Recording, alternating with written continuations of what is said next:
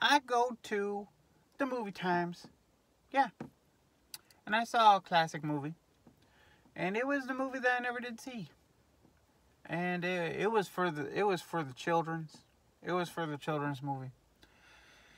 And uh what was it? Uh, it was it's kind of weird because it's like a spin-off to another series but it is called the the, the filet mignons yeah and they're little yellow guys and i think it's foreign film because i think they were speaking italian or something but uh that is not true they just say nonsense the minions this is like a, a spin-off of the despicable eye series starring Long Nose Man. But um yeah, and this is actually this is actually a prequel. It's not just a, a spin-off, it is a prequel. And it's about the little yellow guys. Primarily three of them. One named Kevin and one named Bob and one named the Stuart. Uh, this is a very old movie, so I will do the spoilers and whatnot that I remember. Yeah, so uh so it starts out a long time ago and they swim out of the water and then their whole deal was they want to find the the most diabolical creature and there's something about a T-Rex and then a caveman. But then they finally get to normal people times. And there was some sort of war, I think it had to do with Napoleon or something. Then they got run out and they hid in a cave and then they got depressed because they weren't fulfilling their life's purpose of helping the most evil person or something. Ah. So, then three of them go on an adventure.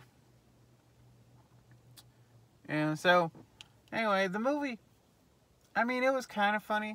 There was some things that, that, uh, made me laugh. The thing that made me laugh the most was there's this British, uh, reporter, and he was like, and some some bald child who is obviously suffering from jaundice, you know, because it's like he's yellow or whatever. But and then you know other stuff like that. Oh yeah, I thought it was funny. Like there's a at some point they accidentally make a minion the king or something, so the queen isn't the queen of England isn't the queen anymore. And so uh, she's like in a bar hanging out with the normal people drinking and joking. I thought that was a funny scene. But anyway, so they're they're trying to get to this evil people's convention and they they like take a ride with this evil family for a little bit. you know, that was that was some humorous stuff there. But eventually they end up becoming the minions of this evil lady whose last name is Overkill or something. And she has a husband, and her husband is funny. That sort of thing. You know, there's a bunch of gags and whatnot. I was uh, surprised they were able to pull it off. Because, you know, in the Despicable Me's, I've seen, I don't know if I've actually seen an entire one, but I've seen clips of them and stuff like that. I know I've seen an entire one at some point. But they're like a little side thing. You know, they're not the main story. So they don't have to carry the film. So I was like, how are they going to make an entire movie about things that can't really talk? they end up saying English words every once in a while. I think it might just be a whole bunch of different languages mixed together. I'm not sure what's going on with that, but it's it's kind of weird. But yeah, so it's just a bunch of ridiculousness for the most part. I mean, it's it was just kind of dumb. This one is less for adults, I think, than some other ones. Now, the theater, there was like one mom had brought a little kid, I believe may have been a daughter. It's hard to tell when they're so young, but it is age appropriate, you know. I wasn't upset, but the kid kept, you know, talking at the screen and, you know, laughing real big at things. So I'm like, well, this movie is obviously made for this kid over here. It wasn't made for me.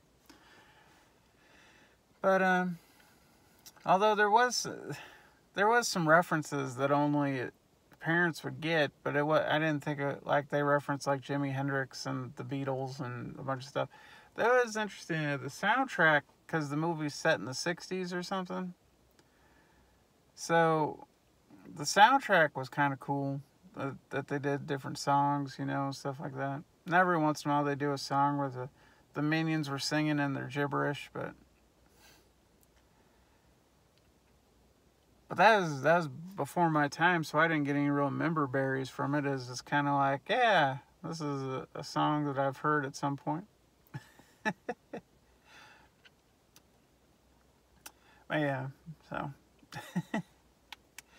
it was a. Uh, it was it was all right. I mean, it was it was funny. I'm sure if I was a kid, I would have liked it a lot more than I that I did. I didn't think it was bad. It was just kind of silly, you know.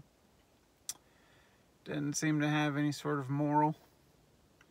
It was just goofy situation after goofy situation, and then they did a big they did a big fight at the end. Like one of the minions got himself blown up to a huge size, and so he was like a giant minion, like a Godzilla minion in, in London. And he's fighting some lady with a rocket powered dress or something. Are they with that Killjoy lady? So, so it was, you know, there was all those sorts of shenanigans, but Don't know. It was, it was just kind of okay in my opinion nothing spectacular, but it wasn't bad. They didn't do a bad job or nothing. It was just uh, for a younger crowd. I think is all there is to that. So yeah, Minions. I think they succeeded at what they're going for. So good job for them. Just wasn't re- really for me.